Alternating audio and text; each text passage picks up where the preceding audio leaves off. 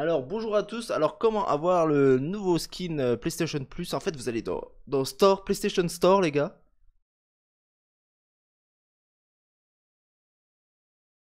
Après vous allez dans gratuit qui est juste là. Après.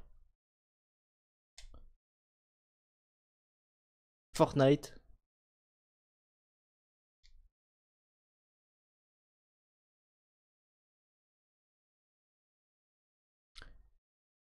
Et après, on va tout en bas, on baisse en fait, on va dans extension.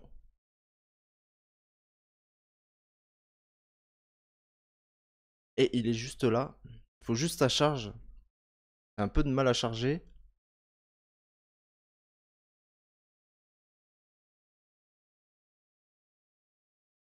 Voilà, c'est bon. Et voilà, il y a juste à le télécharger.